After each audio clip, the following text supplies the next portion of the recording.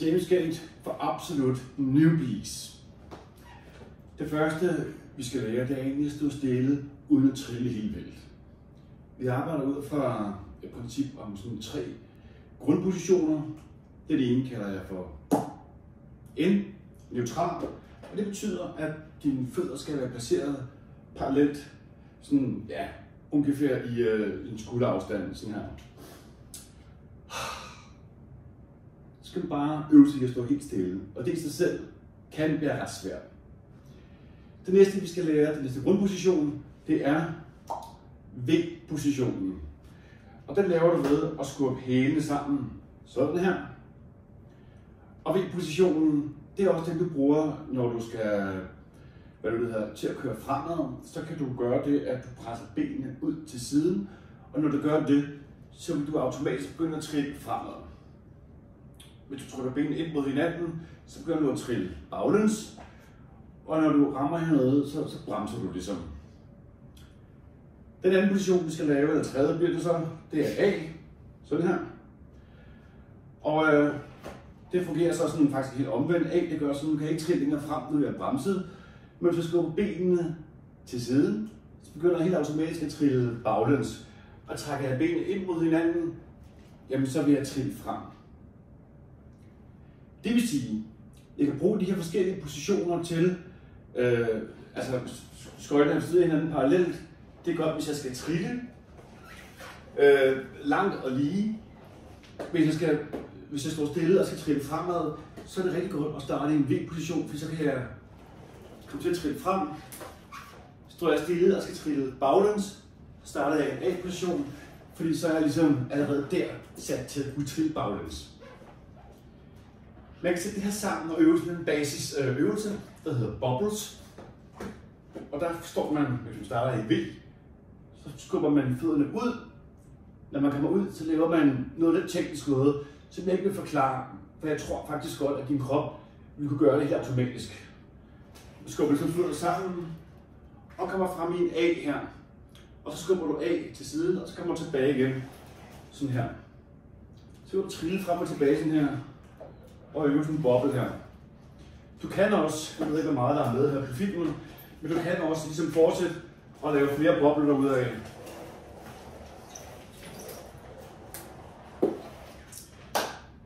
Det er bubbles. Så arbejder vi rigtig meget i Absolute Newbies med rytmer, og der står vi sådan, egentlig bare sådan neutral, og så laver vi det samme dansetrin, som vi gjorde tilbage i folkeskolen, med den her har jeg klaret mig øh, rigtig mange skolefester med den her. Det her det er i sig selv ikke er specielt svært, og det frigør en lille smule overskud, til vi kan begynde sådan at øve os i at bounce. Og det gode ved at bounce, det er, at i det jeg bouncer op, så bliver jeg lidt vægtløs. Og i det, jeg bliver vægtløs, så kan jeg skifte men nu har jeg, lavet bouncer her, så har jeg rigtig meget vægten over på min venstre. Når jeg så skal herover, så skal jeg vægten over på min højre. Og det skift, der er det altså en fordel lige at have sådan et lille moment, hvor man er vægtløs. Og det bruger du bouncet til. Jeg ved godt, at du sagtens skal gøre sådan her fra side til side, fordi det er ikke så svært. Men når vi begynder på nogle lidt mere sådan avancerede danse moves, så er det godt at have indarbejdet bouncet allerede nu. Så det skal vi have øvet rigtig meget bounce. Det er også her, du kan begynde at lege lidt med rytmen. At du for eksempel kan sige, at du har en øh, sang, der går sådan. Det bruger du på alle dine, dine dybe. Dum, dum, dum, dum. Så kan du begynde at lege med, at du øh, sætter tempoet op til et dobbelt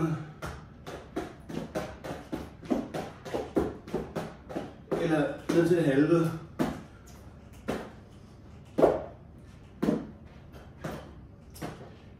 Når vi leger med det her tempo her, så leger vi også en lille smule med, hvor vi placerer vores vægt. Hvis jeg kan for eksempel, hvis jeg står her og skal danse en rigtig langsom musik, så vil jeg typisk tage vægten med over til andet ben, gå dybt her, lande her, tage vægten med over, tilbage igen til det første ben og gå dybt. Så laver jeg det senere.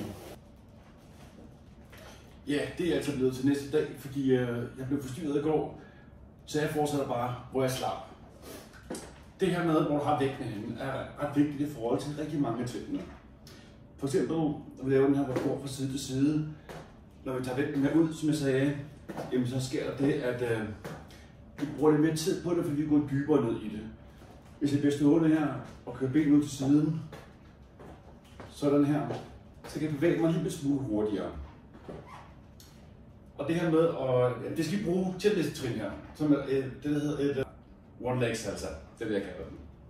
For at lave one leg salsa, der står jeg i øh, hvad det hedder, en neutral stilling her.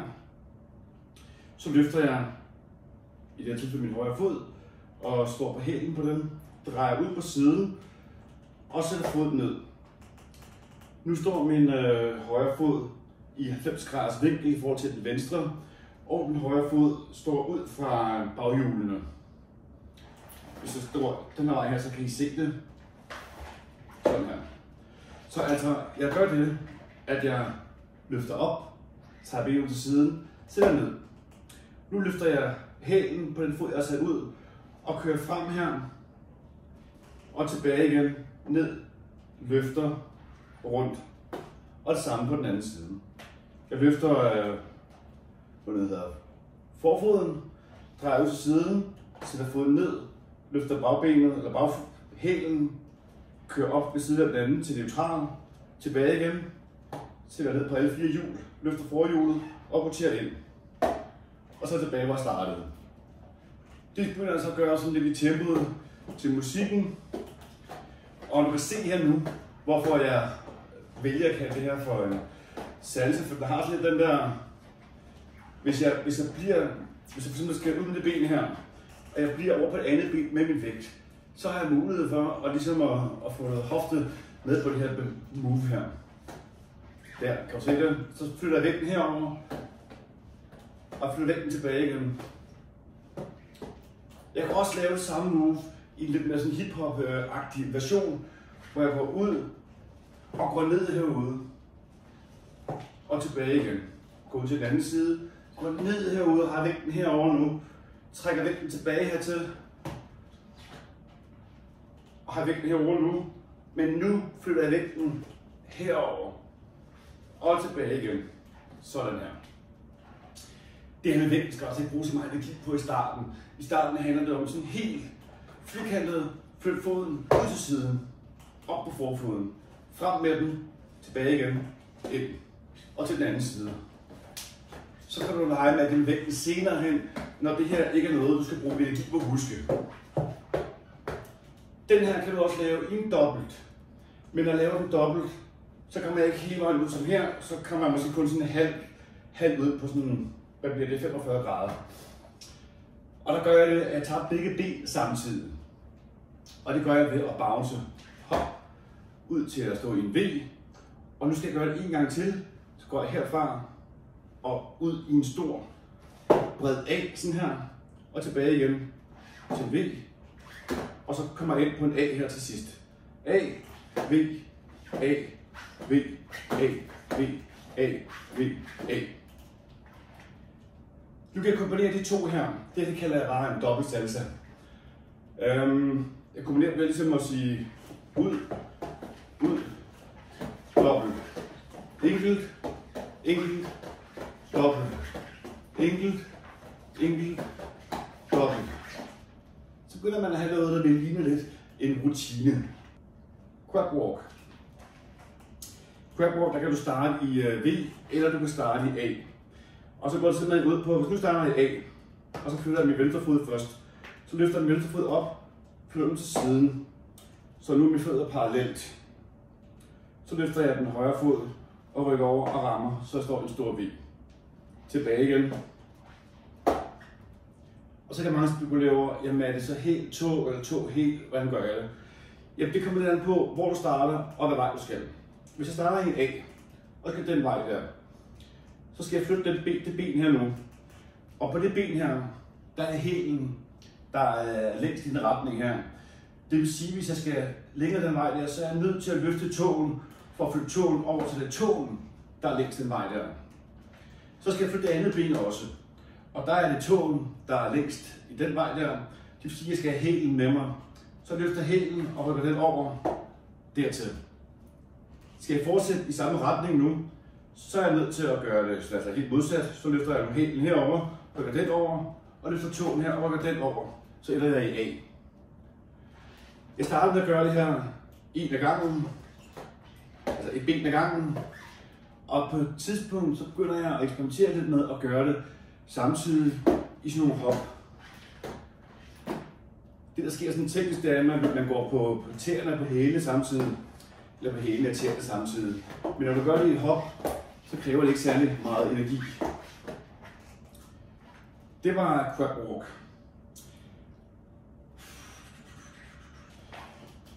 Dribble er sådan en, mere en slags moonwalk. Øhm, og det der sker, det er, at man, øh, man står sådan lidt forskudt sådan her. Altså jeg står i en parallel, og så lidt forskudt. Så har jeg vægten herover i, øh, på det ben, der er fremme.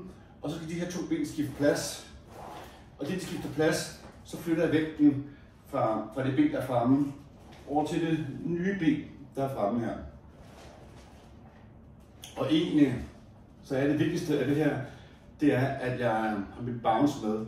Fordi den opdrift der, at jeg kan tillade mig at lave den her, det skift her. På det ser forfra, så ser det sådan her ud. Jeg er herover med min vægt, og min vægten går sådan herover, herover, herover. Det skal man øh, stå og øve lidt. Og i starten der er det altså helt, helt fint nok at køre med nogle rigtig store bevægelser. På sigt, der skal vi have gjort det her meget, meget mindre. Men når du laver store bevægelser, så er kroppen altså lidt nemmere ved at huske det. Og inden vi når en dårlig vane, så justerer vi lidt på det. Når man ligesom har styr på, på den her bevægelse her, så begynder man at tilføje en lille ting. Men først, når du har styr på det. Det er, at det ben, der er bagerst, der løfter du øh, hælen, og så triller du frem, sætter hælen ned, så løfter du hælen på det bagerste, triller frem, sætter hælen ned. Løfter hælen på det bagerste, triller frem, sætter hælen ned,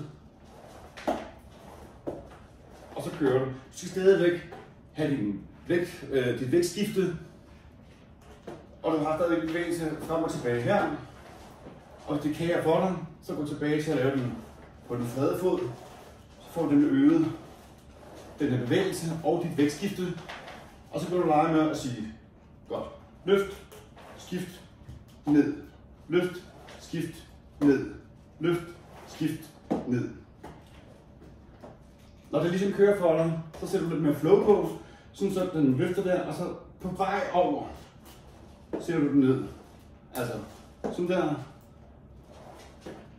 Og på et tidspunkt, så går den faktisk omvendt, så på vej tilbage, så løfter den. Begynder det at ligne sådan en moonwalk. Nu, nu står jeg stille, og hvis jeg flytter min vægt lige smule, så begynder jeg at lave moonwalk. Og jeg kan også virkelig begynde at trække den fremad. Så der kan du lege rigtig, rigtig meget med, med forskellige bevægelser i det her move. Det hedder dribble. Lad os lige tage øh, lyn, lyn hurtigt en uh, øh, downtown. Og downtown, den bygger lidt på nogle af de principper, som vi har arbejdet med her.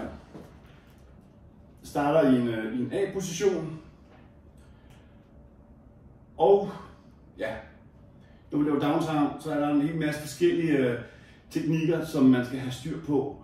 Og jeg anbefaler altså, at man sætter fokus på én teknik ad gangen. Så til at starte med, så står jeg i en A-position, så rykker jeg mit venstre ben herover, det højre, og det her ben her, der rykker jeg bagved det andet, og det her ben her, der ryger bagved igen, og det her ben her, det ryger over. Så skal vi sige hjem igen. Så det yderste ben her, det ryger over, det ben er tilbage, det ryger bagom, det ben er tilbage her, det ryger bagom, og det her ben her, det ryger over. Så det hedder altså over, under, under, over. Over, under, under, over. Næste trin, næste fokuspunkt, det er placeringen af fødderne. Så jeg starter med at stå i en A-position. Dribler jeg over her. Nu er mine fødder placeret øh, parallelt ved siden af hinanden. Jeg kalder det for I. Så tager jeg tilbage til fod bagom her, og placerer mine fødder sådan her i V-positionen. Den her ryger bagom til en I, øh, modsat vinkel, og det her ryger over her til en A. Så den er altså over til I, under til V, under til I, over til A. Over til I, under til V, under til I, over til A. Perfekt. Næste fokuspunkt, det er min vægt, hvor jeg har min vægt. Jeg starter lige her og har vægten lige ned. Min vægten er over hælene, altså numsen er over hælene, og jeg er sådan lige i min søjle her.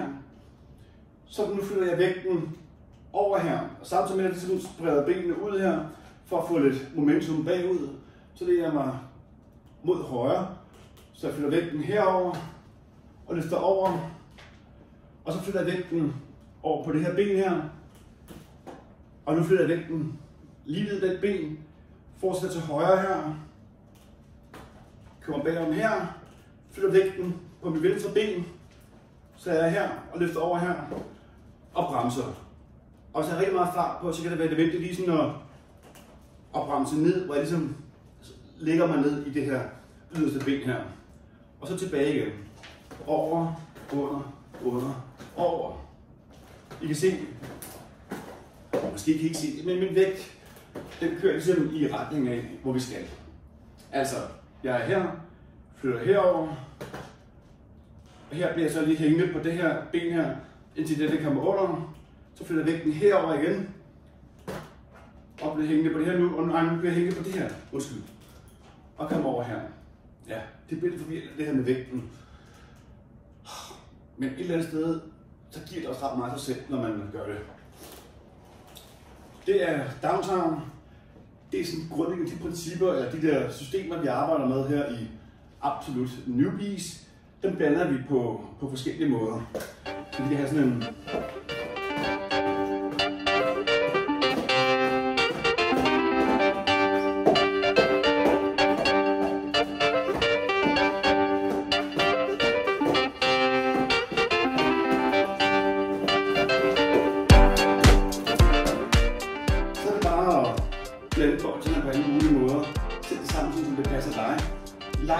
Leg med.